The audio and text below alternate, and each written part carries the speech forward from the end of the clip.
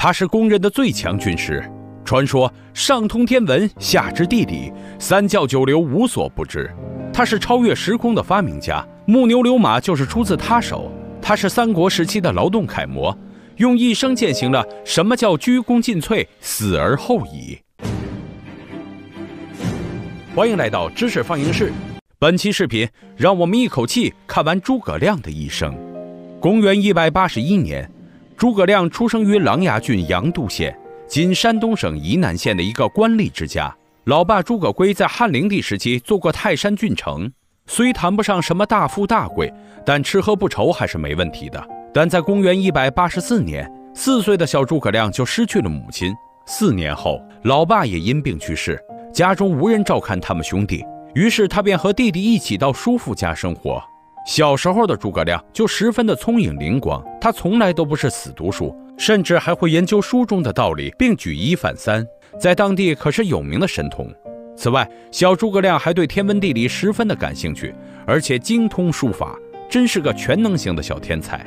后来，叔父丢了南昌的官职，无计可施之下，他只好溯长江而上，来到荆州投奔前东家刘表。刘表是个厚道人，热情接纳了老部下，并对诸葛亮及其兄弟们做了妥善安置。公元一百九十七年。叔父病逝，十七岁的诸葛亮再次失去了唯一的生活依靠，只能移居到生活成本不高的隆中，依靠耕种来维持生计。在这里，他熟读诸子百家，研究兵法谋略，还广泛涉猎天文、地理、气象等小众领域，逐步成长为一枚百科全书级的宝藏青年。除种田之外，诸葛同学整天不是走亲访友、侃大山，就是看书、睡觉、搞发明。当然，他也因此结识了一批有才之士，如水镜先生司马徽、庞德公庞统、孟公威，还有后来的岳父大人黄承彦等人。有了这些上流社会核心人物的加持，足不出户知天下事也不是什么难事儿了。另外，他还对当时的自己做了个简单的评估，将自己比作辅助齐桓公成就春秋霸业的管仲，以及率五国联军伐齐复仇的乐毅。虽然这种比喻在当时的老百姓眼中看来不过就是诸葛亮在吹牛罢了，但经常和他混在一起的几个好基友却知道这个比喻那是相当的名副其实。可能有不少人奇怪，诸葛同学有这么硬的关系网，为何不让他们内推一下，找份好工作呢？诸葛同学表示，时机未到，我自有我的安排。公元二百零七年，刘备在徐庶的建议下前往隆中拜访诸葛亮，但来了好几趟都吃了闭门羹。但刘备哪里是如此就轻易放弃的人？一次，他又挑了个好日子，再次来到隆中。这次，诸葛亮正好在睡觉，刘备便让关羽、张飞在门外等候，自己则在台阶下静静地站着。过了很长时间，诸葛亮才醒来，可能也是想看看我们诸葛同学的实力。刘备便向诸葛亮请教了平定天下的办法。于是，诸葛同学便给刘备仔仔细细分析了天下的形势。就在那个不起眼的小茅屋里。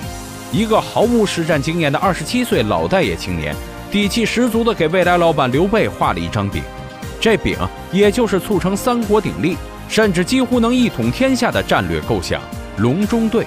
而颠沛流离十几年，一直都是走一步算一步的刘备，从这个二十七岁的年轻人身上看到了希望，使出浑身解数，邀请其实早就想跟他走的诸葛亮出山。这时，已经韬光养晦了十几年的诸葛同学呢？也觉得时机已到，将自家良田都交给弟弟之后，便出门拼事业去了。这就是中国历史上著名的三顾茅庐的故事。按理来说，诸葛同学在当时的知名度和能力，完全可以去综合实力更强的曹操或孙权家的老牌公司。那为何最终又选择了刘备这个创业型公司呢？大概是觉得更有上升空间吧。次年，也就是公元二百零八年。诸葛亮被安排的第一个任务就是出使东吴，联吴抗曹。当然了，现实不是小说，在这儿没有什么舌战群儒，没有草船借箭，也没有三气周瑜，更没有借东风，有的只是诸葛同学的小心斡旋与苦心运筹吧。最终，在各方的努力之下，孙刘联军成功攻占了荆州的大部分地区，光刘备就占据了长江以南的四个郡。奔波了大半辈子的刘备，这才算是有点支棱起来了。而咱们的诸葛同学也在此时有了第一个正式官职——军师中郎将，主要就是负责一些基层事务，比如在刘备外出打仗时，诸葛亮就要负责行政、搞后勤。给前线输送粮草和援军等等。可别小看这份工作，要没有靠得住的人看家，刘备这个当领导的怎么能安心上前线呢？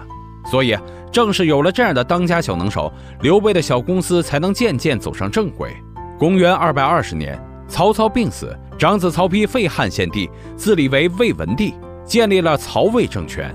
第二年，刘备也在成都称帝，正式建立蜀汉政权。四十岁的诸葛亮无可置疑地被任命为蜀汉丞相。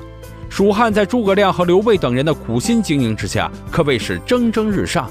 但此时，一心想为关羽报仇并夺回荆州的刘备，已经完全听不进去诸葛同学的劝阻了。不听诸葛言，吃亏在眼前。最后的结果就是张飞被部下暗杀，刘备被陆逊火烧连营，几人辛辛苦苦二十年打下的江山，一夜之间就回到了解放前。刘备的身体也被这一次失败彻底击垮。公元二百二十三年，命悬一线的刘备将诸葛亮请到白帝城托付后事，将自己十六岁的太子交给了诸葛亮，并表示如果觉得这孩子能服就服，服不起就算了，反正这国家就交给你了。望着眼前这濒临崩盘、命悬一线的烂摊子，诸葛亮真是绝望到欲哭无泪。但是自己提的隆中对，跪着也得干到底啊！公元二百二十六年，曹丕驾崩。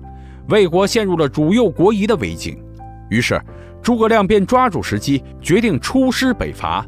第二年上书《出师表》，没错，就是初中那篇背得够呛的文言文：“先帝创业未半而中道崩殂，今天下三分，益州疲弊，此诚危急存亡之秋也。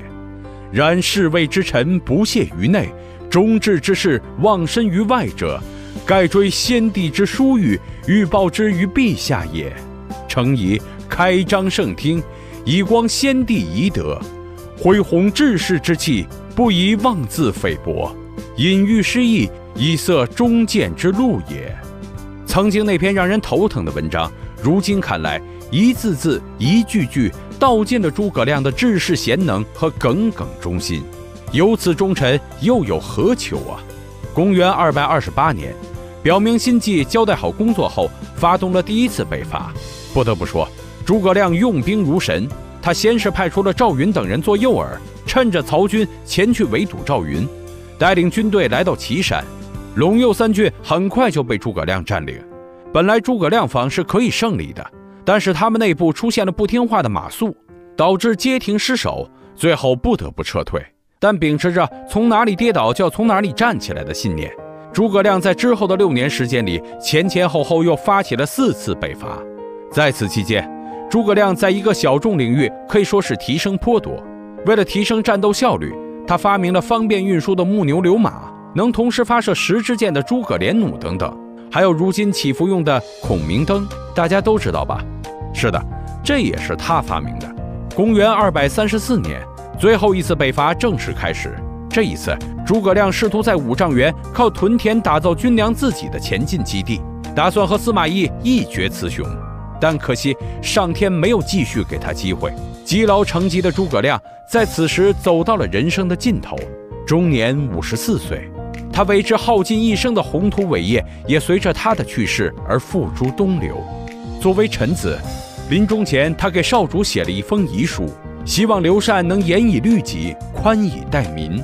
接着又对自己的财产做了一个统计，八百棵桑树，十五顷田地，这些就是他作为一人之下、万人之上的丞相所有的遗产。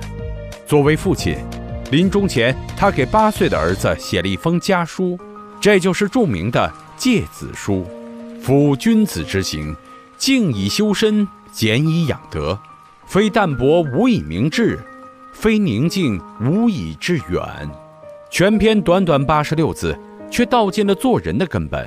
这也是一位父亲对孩子的无限期望，在千年后的今天看来，依然值得我们借鉴。历史上的诸葛亮不是神，只是普通的人。可也正是因为他只是人，所以才比《三国演义》中的诸葛亮更加伟大。他本可以自立为王，却选择了做忠臣。杜甫晚年在拜访诸葛先生庙堂后写的那首《蜀相》诗中有这样一句话。